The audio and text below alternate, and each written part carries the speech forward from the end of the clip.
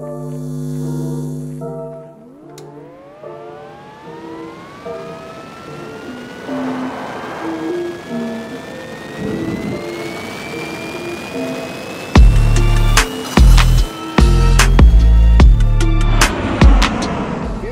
engines are basically of two major types piston engine and gas turbine engine. All aircraft engines work on the basic principle of Newton's third law of motion, which is every action has an opposite and equal reaction. In aircraft engines, when the air is pulled in and then pushed out with force, this is action. And as a reaction, the aircraft moves forward, and this force is called thrust.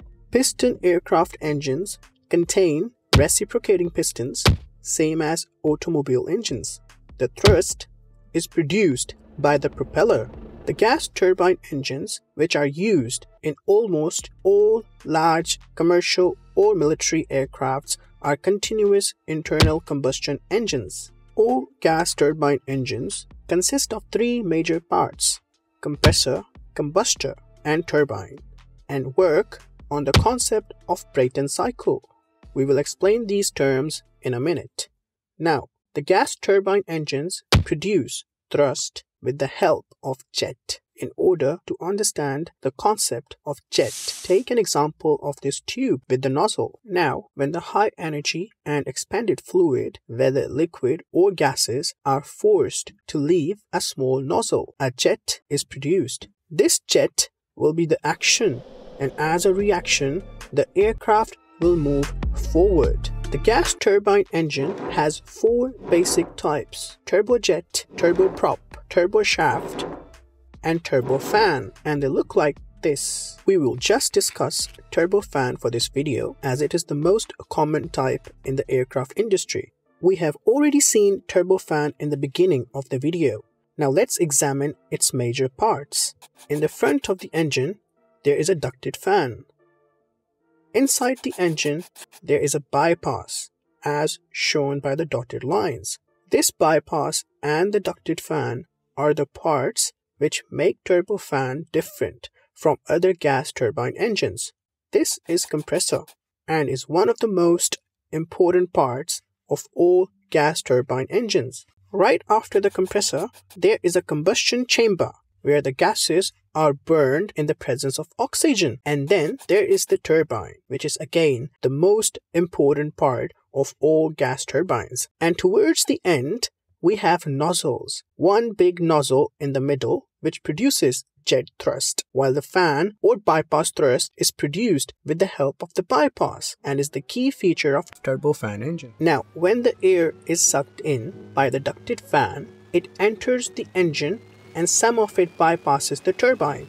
There, the bypass air produces a small jet, which can be called as fan thrust.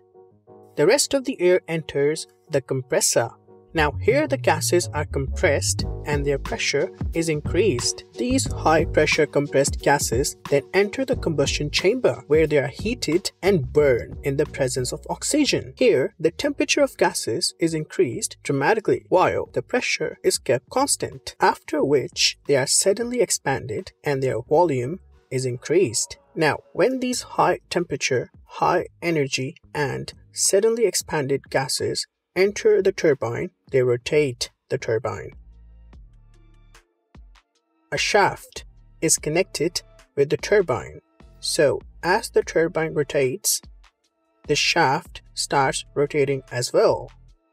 This shaft is connected with the compressor and the ducted fan, so as the shaft rotates, it keeps the compressor and the fan rotating as well. This way, all the components keep rotating and working. So now at the end, the rest of the gases in the turbine leave the nozzle producing jet. This jet combined with the bypass jet being action forces produce powerful thrust as a reaction force and the aircraft moves forward. Now the process of keeping the pressure constant raising the temperature by combustion, sudden expansion, and turbine rotation is called Brayton cycle. We will discuss about the Brayton cycle and all the major parts of the turbine engine in more details in our next video.